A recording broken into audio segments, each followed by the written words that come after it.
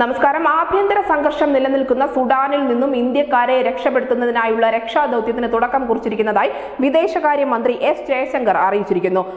Operation Kaveri എന്നാണ് സുഡാനിൽ നിന്നും ഇന്ത്യക്കാരെ രക്ഷപ്പെടുത്തുന്നതിനുള്ള ഓപ്പറേഷന് ദൗത്യത്തിന് പേര് നൽകിയിരിക്കുന്നത്. അഞ്ഞൂറോളം ഇന്ത്യക്കാരെ ഇതിനോടകം തന്നെ സുഡാനിലെ തുറമുഖ നഗരമായ പോർട്ട് സുഡാനിൽ സുരക്ഷിതമായി ഇന്ത്യൻ എംബസി എത്തിച്ചിട്ടുണ്ട്. ഇനിയും കൂടുതൽ പേരെ എത്തിക്കാനുള്ള ശ്രമങ്ങൾ ഊർജിതമായി തന്നെ സുഡാനിൽ തുടരുകയാണ്. ഇന്ത്യക്കാരെ തിരികെ എത്തിക്കാൻ കപ്പലുകളും വിമാനങ്ങളുമാണ് നമ്മൾ സജ്ജമാക്കിയിരിക്കുന്നത്. സുഡാനിൽ നിന്നും കപ്പൽ മാർഗവും വിമാന മാർഗവുമാണ് അവിടെയുള്ള ഇന്ത്യൻ പൗരന്മാരെ രക്ഷിക്കാനായി നമ്മുടെ സർക്കാർ സജ്ജമാക്കിയിരിക്കുന്നത്. രണ്ട് വിമാനങ്ങൾ സൗദി അറേബ്യയിലെ ജിദ്ദയിൽ തയ്യാറായി നിർത്തിയിട്ടുണ്ടെന്നും കപ്പൽ സുഡാൻ തീരത്തേക്ക് അയച്ചിട്ടുണ്ടെന്നും വിദേശകാര്യ മന്ത്രാലയം നേരത്തെ തന്നെ അറിയിച്ചിരുന്നു.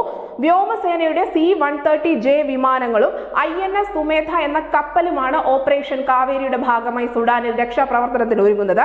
ഏതാനും ഇന്ത്യക്കാർ അടക്കം വിവിധ രാജ്യങ്ങളിൽ നിന്നുള്ള പൗരന്മാരെ ഫ്രാൻസ് ഇതിനോടകം തന്നെ മോചിപ്പിച്ചിരുന്നു. ഫ്രാൻസ് അവരുടെ പൗരന്മാരെ മോചിപ്പിക്കുന്നതിനൊപ്പം നമ്മുടെ അഞ്ച് പൗരന്മാരെ അവർ അവർ രക്ഷപ്പെടുത്തി അവരുടെ സുരക്ഷിതമായ കേന്ദ്രത്തിലേക്ക് നീക്കിയിരുന്നു. അതുപോലെ തന്നെ സൗദി അറേബ്യയും അവരുടെ പൗരന്മാർക്കൊപ്പം പന്ത്രണ്ടോളം ഇന്ത്യക്കാരെ രക്ഷപ്പെടുത്തി സുരക്ഷിത കേന്ദ്രത്തിലേക്ക് നീക്കിയിരുന്നു. രണ്ടായിരത്തി ഇരുപത്തി ഒന്ന് ഒക്ടോബറിലെ സൈനിക അട്ടിമറികൾക്ക് ശേഷമാണ് സുഡാനിൽ സംഘർഷങ്ങൾ ഇത്രയധികം കലുഷിതമായത്. അവിടെ ആഭ്യന്തര യുദ്ധത്തിലേക്കുള്ള വഴി തുറന്നതും മറ്റു രാജ്യത്തിലുള്ള ആളുകൾ ഇത്രയധികം സ്ട്രഗിൾ ചെയ്യാൻ കാരണമായതും.